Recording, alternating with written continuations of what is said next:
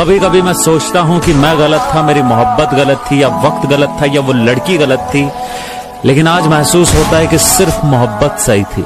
बाकी सब गलत था। मैं अपनी सच्ची मोहब्बत का यकीन दिलाने में गलत साबित हो गया, और वो मेरी मोहब्बत को गलत साबित करने में सही।